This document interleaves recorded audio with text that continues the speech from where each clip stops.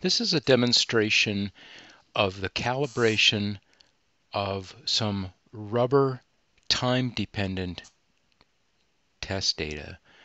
Um, and while I say it's test data, I want to very quickly say that it's fake data or pseudo data or simply synthetic data. That is, I created this data and I created this data from a very realistic rubber model. So I had some rubber test data and I fit this hyperelastic Yeoh model, Prony series linear viscoelastic material model, and using some unit cubes in Abaqus, I created a series of synthetic test data um, simply because I didn't have all the test data and I wanted this breadth of test data to show in this example.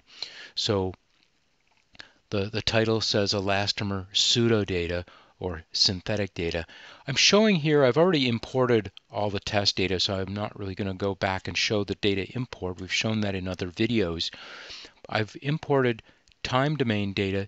These three here are simple um, uniaxial tensile monotonic pull tests at three different rates, a, a slow rate, a mid rate, and a fast rate.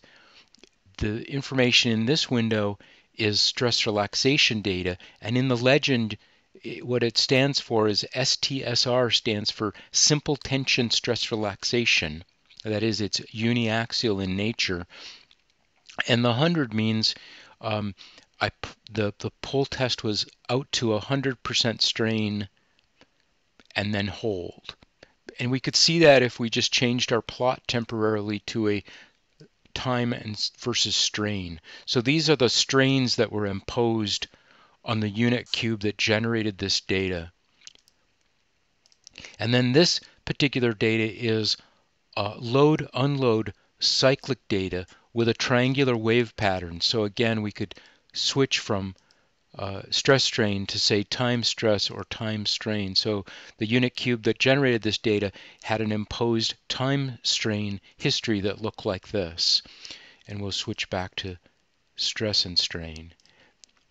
So we can generate as many of these um, plots as we want. We use this create plot uh, icon down here in the bottom to create a plot and I can pull in import as many pieces of test data as I want. And in this case I've I've actually imported seven different uh, pieces of test data. All the test data is shown down here. There is so I can import as many pieces of test data as I want. Um, I can create as many um, windows with display or chart windows um, or XY plot windows as I want. Um, a, another couple of things I want to point out is um, during import we have the idea that you can import pretty much any kind of test data that you want. Stress relaxation, creep, um, monotonic pull test, um, and even some uh, cyclic. Uh, basically, you're bringing in any time, strain, stress history as your test data. The other thing I wanted to show you is that in the latest version, I am um, I am using today's latest cloud version to do this demo, and I wanted to show you that you can bring, frankly, you can bring in frequency domain data as well, and you can, and it can either be um, uniaxial, that is E prime, E double prime, or torsional or slash shear, that would be G and G double prime, DMA, uh, storage and loss modulus, and tan delta data. So you could bring in that sort of data. I don't happen to have that kind of data um, in my synthetic set of data here. One thing that in the other videos that we've created so far we haven't talked a whole lot about is this icon right here. Um, you'll notice when I pause my mouse over it, it says range response data. We also tend to call this uh, response only data. So it's not test data. And um, for instance, um, and I'll just bring this up, we, we have by default a, a very compact little GUI here that allows you to create deformation patterns that you'd like to see a response to. Okay, for instance, let's say I had uniaxial data, but I didn't have any biaxial data and I wanted to see the response of my math model in biaxial deformations. I could do that here because I am allowed to specify what the deformation is. In, in this particular case, you can also, so I can create all sorts of different deformation patterns to which I'm going to see the math model response. Um, and you'd be surprised how many times this is a very handy feature. In in, in this, uh, you can tell it to include unloading or not include the loading. You can describe the strain rate either with the uh, the time dependency with strain rate or time ranges. Um, you uh, can specify the strain range. You can say single curve or family of curves, so you can do things like a family of strain rate curves which would be sort of similar to what we have in this plot out here. In this particular case, I'm actually going to create some RO or response only data in the frequency domain. I'm going to call it, notice how we put the little RO by default. I'm going to put DMA. Um, and I could put DMA RO, but um, so basically in this I'm but I don't have any DMA test data, but I would like to see the storage and loss modulus response of the math model that I end up creating.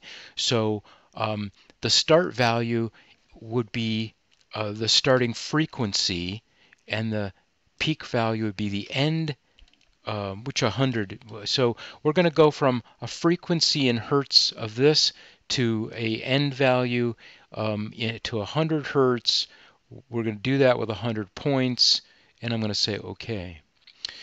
The again, this is all uh, synthetic data. It was created, remember, from a math model that was a Yeoh model and a five-term Prony series. So I'm in analytical mode. We've talked a little bit about analytical versus numerical mode. Anytime that your math model uh, that you desire, your target math model that you would desire to calibrate is in analytical mode, you ought to use it because it's um, very, very fast, very high performance. So we are going to select a hyperelastic, viscoelastic, or hyperelastic Prony series model and say OK. And it'll populate that over here. Um, I'm going to use a little bit, I'm going to cheat a little bit here.